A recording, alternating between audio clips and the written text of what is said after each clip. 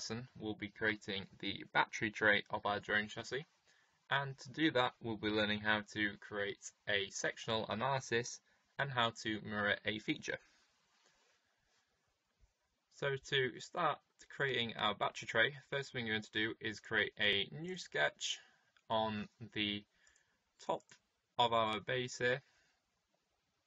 And we're going to go back into sketch and go to rectangle, center rectangle, and we're going to select the origin again, and we're going to create a rectangle 20mm by 40mm and press enter.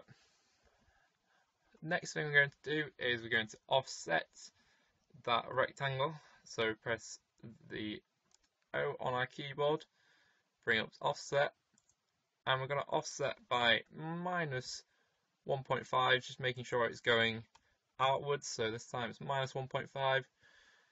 Press OK. Next thing we're going to do is we're going to project the inside of this arc. To do that, we can press P on our keyboard and that'll bring up the project tool. And we're going to select the inside of the arc at the top and the bottom of a drone and press OK. And then we can stop the sketch and we'll have two profiles that we can extrude. Just press E on the keyboard or selecting it in our toolbar up here, we can extrude downwards uh, by minus 3 and press OK. Next thing we're going to do is we're going to create some sort of beams going across our battery just to allow us to attach our battery to the holder. To do that, we're going to create a sectional analysis going across our drone chassis here, and that is going to allow us to see better when we are creating a new sketch. Go on to inspect, I'm going to go to section analysis, and I'm going to select the face I want to sketch onto, and you can see it is cut through our chassis there, and press OK. We're going to select, we're going to create a new sketch on the this plane here going through our chassis. And I'm going to press R on my keyboard, or I can use the rectangle tool at the top of the toolbar here. I'm going to create a rectangle 1.5 mil by 2.5 anywhere along this sort of beam here.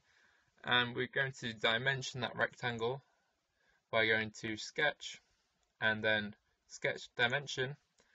And we're going to select the our rectangle we're going to select the origin and we're just going to make sure that it's dimensioned 10 mil away from the origin and then we can stop the sketch.